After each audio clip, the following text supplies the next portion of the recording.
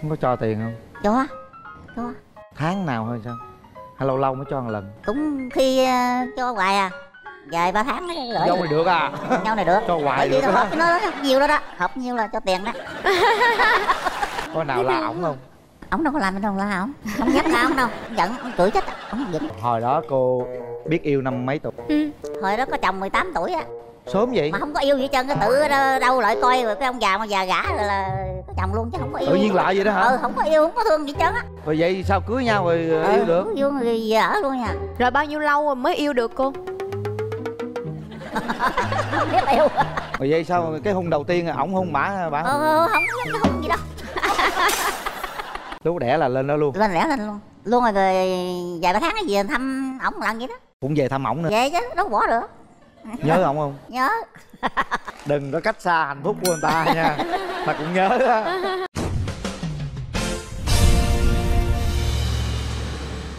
cái ngày đầu tiên cách đây 11 năm đó cô thấy người con gái này xuất hiện cô có ấn tượng gì không? Thấy thì à, tụi tụi nó thương nhau á nó dẫn Dạ. nhau về. Rồi cái nó nói à, nó thương thì thấy mình thấy mình cũng đồng bằng lòng thấy cũng được nói chuyện rồi cũng đàng hoàng. À. ờ, cũng lễ phép. Rồi sang hoàng dốc dáng rồi đó mình coi mình cũng ý à, cũng vậy á. Còn cái lần đầu tiên khi mà mình gặp mẹ chồng đó chị mình thấy điều gì ấn tượng không? Có thấy à, mẹ à, rất hiền chất phát Dạ.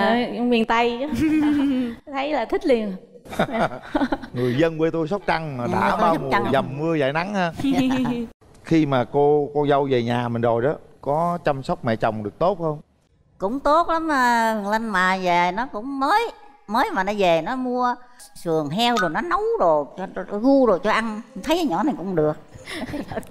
Dạ. Nhưng mà sau đó ngoài cái món đó còn món gì nữa không? Đám cưới về cái về nhìn ở có ba ngày cái rồi đi ờ, lên trên này ở luôn. Mấy ngày đầu nó làm gì trong nhà nè? Trong nhà hồi mới đám rồi là dữ lắm công chuyện dọn dẹp rồi dữ lắm. Dọn rồi làm gì trong nhà nữa? Làm dọn dẹp nhà cửa rồi chán bát nồi ơ đồ gì đó. Mà mới đám rồi là đồ gì dữ lắm rửa luôn. Ừ làm dữ lắm. Nó giặt quần áo cho mẹ chồng. Có luôn nữa giỏi vậy ta? Giỏi lắm. Rồi có ra bởi gì đi chồng rồi uổng nữa. Nó đi Hả? trên này nó làm ở nhà uổng nó không có ai làm.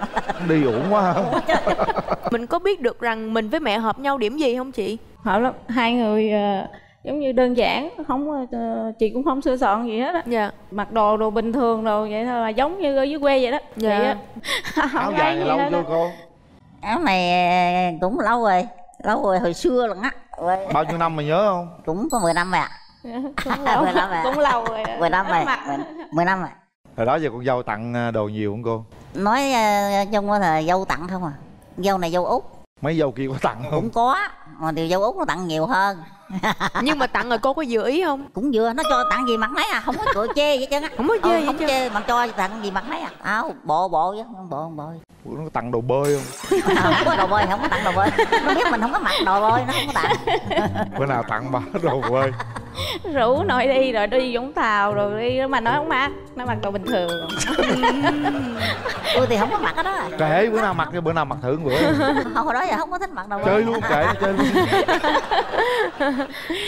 Hai mẹ con mình ở xa nhau quá rồi có thường xuyên liên lạc với nhau không chị À, cũng thường xuyên lắm. Gọi điện à, messenger.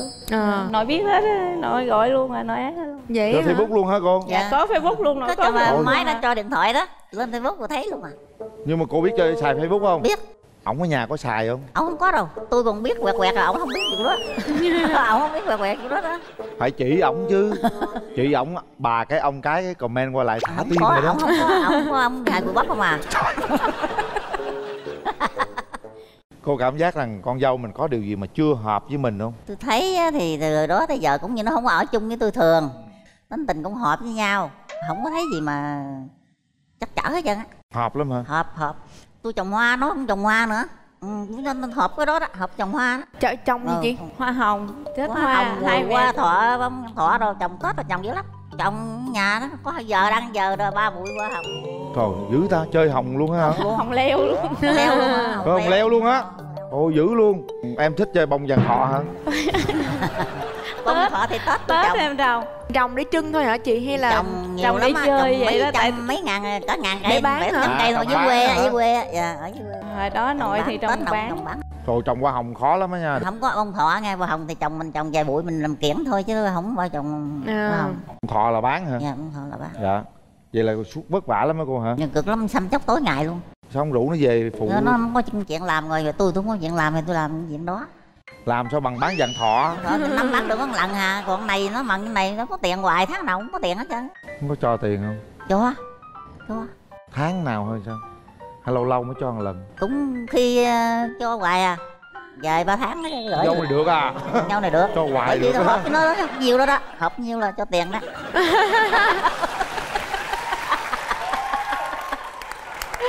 Thương Thì lên chăm sóc con á Con Dạ, cháu á cháu. Có bao giờ nó trách mình gì không? trời làm hoàn toàn luôn không có trách được cái gì hết trơn luôn. Lúc đẻ là lên đó luôn. Lên lẻ lên luôn luôn rồi, rồi vài ba tháng cái gì thăm ổng lần vậy đó. Cũng về thăm ổng nữa. Về chứ đâu bỏ được. Nhớ ổng không? nhớ. Đừng có cách xa hạnh phúc của người ta nha Mà cũng nhớ á nhưng mà cô ơi có điểm nào mà cô chưa hài lòng ở chị không? Nó không ở gần gũi với mình thường á. Dạ. Lâu lâu nó về lần thì nó làm ngầu cũng được chứ không có thấy nó làm chuyện gì mà cho chứ sai với mình hết trơn á Nhưng mà à, bà bà là chồng chăm sóc cháu đó Thì có hài lòng với em không? Có điều gì mà không hợp với em không? dạ ờ, hợp lắm. Ăn ờ, uống cũng hợp luôn. Món rồi mẹ nấu gì em cũng ăn Chăm con có hợp không? chăm con cũng hợp nữa. Mẹ chăm kỹ lắm. Ờ, chăm kỹ lắm. Hồi xưa lúc ờ, em sanh đứa đầu mẹ phải chăm không á. Vô bệnh viện nuôi rồi lúc đó em mổ. Vệ sinh đâu đâu có làm được. Mẹ ấy không á. Còn mẹ ruột thì đi vòng vòng ngoài mẹ ruột. Còn bà nội là người chăm không á Thấy thường quá hả? chị có những cái kỷ niệm nào mà về mẹ chồng mà đáng nhớ không Bé sanh đứa đầu tiên á, lúc mà nội ờ, chăm chị trong bệnh viện á, chị bị tiền sản vật nội chăm á, nội lo đồ á, chăm như con gái vậy đó lúc đó ờ, cũng khóc luôn á Mẹ nội lần? chăm kỹ lắm chăm ở nhà về nhà sáng dậy 5 giờ mình cũng dậy dậy sớm phụ nấu cháo cho cái thằng nhỏ 8 tháng á, mới làm được có ngày cái nội bà để ý làm được hai ngày bà để ý để ý mình nấu sao sao. Tới ngày thứ ba là ờ, dành nấu hết trơn luôn rồi tự ấy tự làm hết luôn mình dậy chỉ có hai mẹ ờ, ngồi uống ờ, sữa uống đồ chơi thôi. Rồi cái xay cháo cho nhóc cái hồi đi làm. Bà nội phải làm ở trường phải dành tắm thằng nhỏ rồi làm hết để đó cái nội làm hết. Tức nội không cho bà- làm. Bà nội chăm sóc cháu hết luôn. Nội không cho làm. Việc la la con là của em. Có la con trước mặt mà có có bà nội bà thấy sót. Có là thằng lớn lớn nó cũng ờ, ngoan lắm cũng học giỏi nhưng mà nó khỉ. Tối ngày ôm iphone ipad rồi nó ôm nó chơi rồi cái mình la mình sợ nó bị nó cũng cận. La nó tối ngày. Bà nội ờ, không có nói mà nội thấy nội buồn buồn xong cái nội nói ngọt lại kêu nó cái là nó nó nghe lời sao nội ông binh la là con dâu? Bên ơi sợ nó lần nó không sợ mẹ nó kệ nó Đúng như phải la con dâu chứ. gậy. không không Không đang- dám la. đúng, đúng rồi. Đang la nó, mà nó, nó binh bắt binh. chớn nó mình binh nó nó bắt chớn nó. Bữa nào la con dâu bữa đi. Trời ơi. Coi nào la ổng không? Ổng đâu có làm gì đâu la ổng. Không dám la ổng đâu. Giận ổng cười chết. Ổng không giận. Không có la. Không dám la ổng. Hồi đó hồi đó cô biết yêu năm mấy tuổi? Ừ. hồi đó có chồng 18 tuổi á sớm vậy. Mà không có yêu gì hết trơn cái tự đâu, lại coi rồi cái ông già mà già gã rồi là có chồng luôn chứ không có yêu. tự nhiên lại vậy đó hả? Ừ không có yêu không có thương gì hết trơn á. Rồi vậy sao cưới nhau rồi ờ, yêu được? ừ, yêu người về ở luôn nha. Rồi bao nhiêu lâu rồi mới yêu được cô? Không biết yêu. Rồi từ từ ở luôn vậy chứ không có biết yêu thương gì hết trơn á. Hồi đó không có yêu thương thương yêu chứ còn giờ nhiên đó. đâu lại vậy rồi cưới vậy đó hả? Có cũng như cô của ổng ở gần rồi thấy mình vậy cái mới đi làm mai, mai vậy đó à. ừ, chứ không có thương. Rồi lúc gặp mặt đầu tiên vậy là ngại không? Mà không biết mắc cỡ gì chứ hồi đó ngồi hồi đó 18 tuổi rồi thợ cũng chết nó không mắc cỡ mẹ chứ. Ừ, hồi đó ờ, tới tôi bây giờ bảy mươi mấy rồi mà đâu có 18 tuổi đâu mấy chục năm rồi hồi đó Sao? đời xưa đó. Không là mai là sáp ừ, luôn. là mai ổng chịu ổng gả thì chịu luôn à. Rồi vậy sao? Cái hôn đầu tiên ổng hôn bả bả ờ, không có cái hung gì đâu đó chứ không phải bây giờ đâu. Gặp nhau hung đâu không có chọc cô cho chút cho nó vui chứ thật sự đây là con người rất chất phát nha. Dạ. bây giờ nói gì là là kể đó luôn á. Tôi- rồi tôi hỏi hồi chắc kể tôi chuyện khác. Tôi thì tôi quê, quê mùa lắm. Đâu có quê tình, đâu. thật tình vậy lắm không có nói. Dạ. Ờ, bữa nào về thành trị ghé thăm cô ha. Thành trị trên đường đi bạc liêu á. Ờ đúng rồi đó. Dạ. dưới có gì ăn không? Có nhóc luôn. Đặc sản là gì cô? bánh bía hả chốt chăn bánh bía ừ. nhưng mà nhà cô có gì ăn? Mà mình không có thì mình mua. Chứ trong nhà thì trồng trái cây đâu không chứ đâu có tía đâu có làm được. Ừ. Nếu mà con lê lộc về cô đãi món gì? Bây giờ linh muốn ăn gì với lộc muốn ăn gì là cô cô để cái này. Cháo lòng đi. Có cái gì đó thì cô dư nấu luôn. Nấu. cô nấu cổ nè. Nấu cổ á nấu cổ Nấu nấu cưới đó. Ủa vậy đó hả? Tình vậy đó bữa nay không phải khoe nha. Phải nổ. Nói cho biết gì đó chứ mà đều không phải khoe mà đều nói cho biết. Dạ vậy thì giỏi. đám cưới đám, đám cưới con trai mình là cô có nấu không? Đám cưới ở nhà thì mình không có nấu vì mình không lo đó lo vui không có- à. Lo. bạn bè lại nấu tiếp vậy đó rồi mình tới đoàn nhà bạn bè cái mình lại mình nấu. À. Nếu như hai vợ chồng cãi nhau á thì cô sẽ bên ai? Theo- tình huống. Tình huống nào nói thằng kia chồng nó lắng nước lá thì tôi gầy ờ, chồng nó. Dạ. Đúng không rồi. có luôn gì đâu được. Dạ. Dạ. Rồi hai ông bà cãi nhau ờ, ai ai xuống nước trước? Giận rồi nghỉ luôn không làm gì giận luôn luôn nha mấy ờ, ngày luôn vậy rồi chừng nào ờ, hết giận nói. Rồi ai khiều ai trước ổng nói chuyện chứ ổng làm quen á ổng kiếm mình làm quen ổng hỏi này hỏi kia gì đó. Vui quá à. mẹ vui quá chị hả? Ở nhà ờ, em nói chuyện mẹ không ấy chứ Ủa vậy ông xã cũng ít nói với ông cũng đi công tác không đâu có nhà à, có bao giờ em ghen chồng em mát với mẹ chồng? Cũng có một lần dạ. bạn của ông xã thời phổ thông hay sao ông ừ, lên đây nè nhờ ông xin việc làm giùm. Ông xin vô rồi xong cái bạn đó cứ nhắn tin hoài canh 11 giờ 12 giờ đêm nhắn tin ờ, cho ổng rồi kêu ờ, rên nói thử việc á. Bị nó hành nó mắt đứng mỗi chân đầu tôi làm la. Ổng ngủ mất tiêu rồi 11 hai giờ ổng ngủ dễ gì chỉ có em thức thôi. Tại em làm đêm em về em thức rồi nghe em thức em đọc ờ, tin nhắn xong em delete. Xóa xóa xóa sạch luôn xong cái mấy ngày sau nó hẹn uống cà phê vậy bạn. Cái ổng đi cái mà ông phải không nói uống cà phê đâu ông nói nói đi uh, gặp bạn chút. Em biết rồi biết địa điểm luôn mà biết rồi. Cái em hỏi đi uống cà phê phải không? Ờ, à, ông không nói cái ừ hoài cái tức mình kể ra. Xong cái không cho đi. Cái cụ ổng lên làm dữ lên. Cái nói ổng phải ờ, chặn facebook chặn đồ luôn chặn số ra trước mặt thì không mấy là biết tay đi ra khỏi nhà. Gọi điện về nội nói hả? Không cho thằng nhóc đi ờ, về thăm nội luôn không thèm lóe luôn. Là giận Nói vậy quá đó. đó. Ừ. ừ. lúc đó ờ, có mét ờ, nội nữa. Ừ không mà nội sao bên ai? gọi điện mét. Mét rồi thì mình gọi điện lên con á mình gậy nó.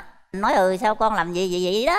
Nó đi uống cà phê mà có gì đâu vậy có nó phải nó nói uống cà phê không chi đâu cô gầy sao cô? Cô la ảnh gậy hả con con đừng làm vậy. Ừ, gia đình hạnh phúc con đừng có cũng như bạn bè con có muốn ờ, cái gì vậy con nó thì nói ừ bạn với vợ con ừ con xin chỗ đó cho nó này nọ cũng nói nhiều vậy lắm.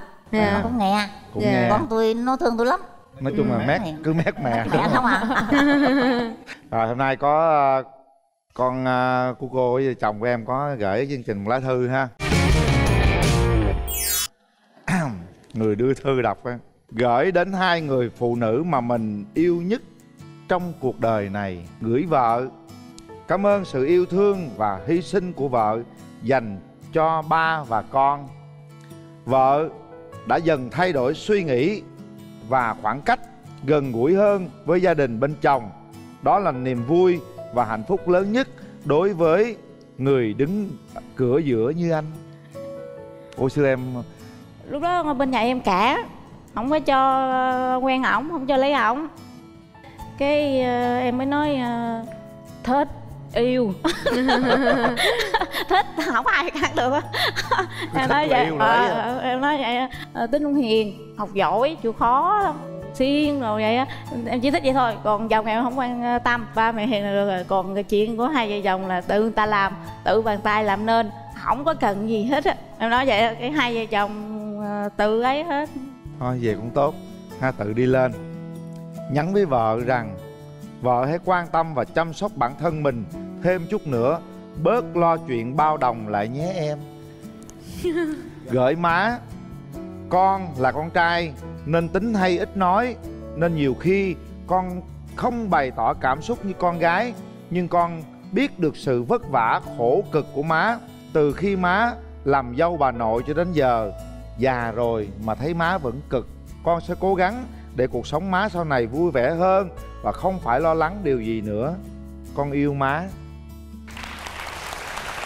Có bao giờ con trai nó nói với má điều đó chưa? Nó thì nó không có nói. Nhưng biết con trai mình yêu mình không? Biết biết. À. thấy nó nói nhiều cái chuyện khác á thì mình thấy nó, nó thương mình dữ lắm. Cô có mong muốn rằng á là một lúc nào đó con trai mình nó về nó ở chung với mình không cũng mong muốn mà chắc không có thể. Bởi vì nó có nhà có cửa rồi nó đâu có thể về ở với mình được. Hay là hai ông bà lên ở với nó được không? Không được luôn nữa. Mình cũng có nhà có cửa dưới nữa. Lâu lâu thân nhớ thì lên thăm mình nói nhớ thì nó về dưới vậy thôi. Cô có mong muốn điều gì con dâu của mình không? Tôi thấy ờ, con tôi như vậy là tôi cũng vừa bụng lắm rồi mà không còn muốn gì nữa hết. Dạ. Ngày hôm nay chị muốn nhắn nhủ đến mẹ chồng điều gì không? Nhắn là rất yêu mẹ. Đã bao lâu rồi không nói yêu mẹ không có nói luôn nha. Không có nói luôn. Bây giờ hai mẹ con đứng lên ôm nhau cái nào? À, ôm mẹ cái đi nè. À, ôm chặt vô. Hồi đó giờ khi nó về quê nó bao giờ ôm mình vậy chưa? Không có ôm. Bữa nay mới nhờ được lên đây mới ôm đó. Ờ, nói chuyện đâu gần gũi đâu có chứ không ôm. Ở nhà còn ổng có ôm cô thường xuyên? Không đâu không nói có bao giờ cô tự động ôm ổng không? Không luôn. Sao vậy? Cuộc đời cần rất cần những cái ôm cái ôm để cảm giác ấm áp hơn rất nhiều. Về nói nhắn với chú nói Quỳ Linh nói lâu lâu ôm tôi một cái coi. Cảm ơn linh ha. Cảm ơn Quỳ Linh đó